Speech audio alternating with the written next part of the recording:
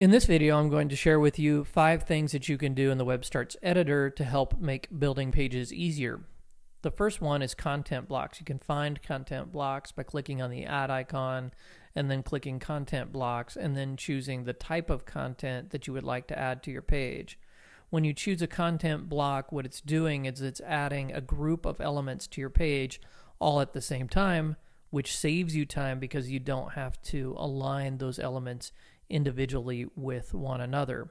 Once you've added the content block to your page, you can drag all of the elements together by clicking on the container that they're held within. So, for example, this is a full width strip, and when I drag it, you can see all of the contents within that full width strip move together.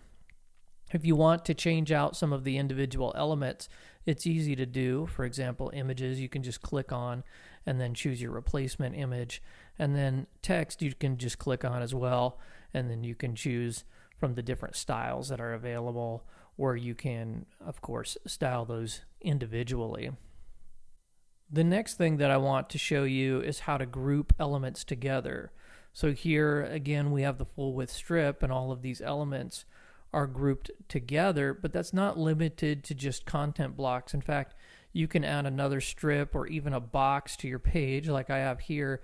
And then once you attach this box to another strip and then you drag that strip, it can be moved together. Or you can even put, let's say, for example, this text box into this regular box and then those two elements are attached to one another and then they can be moved together. You can do that for several elements, and it helps save you the time of moving each element into a position one at a time. Another tool that you may find to be helpful is the align tool. Notice that when I drag an element, these pink lines and purple lines appear, and what those do is they suggest other elements that you might want to align against.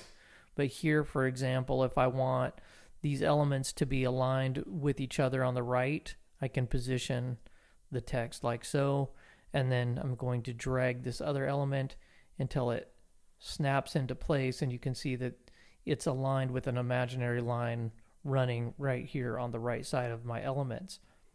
The next feature I want to share with you is the resize by pixel feature.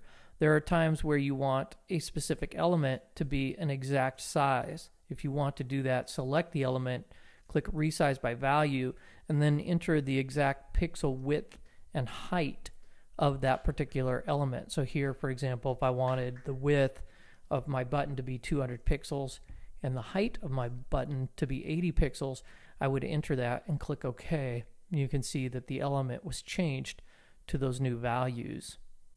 Just like there are times where you want exact pixel control over the size of an element, there are times where you'll want exact pixel control over the placement of an element. In those situations, I recommend selecting the element and then using the arrow keys to nudge each element over one pixel at a time. So you can go up, down, left, right, and you can nudge any element by using the arrow keys on your keyboard one pixel at a time.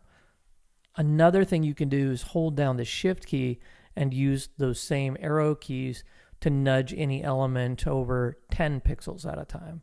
So this will help you place elements exactly where you want them to appear on your page and help align those exactly the way that you would like them as well. That's it for this video. Thanks for watching. Don't forget to visit webstarts.com to create your very own free website and see more helpful videos like this.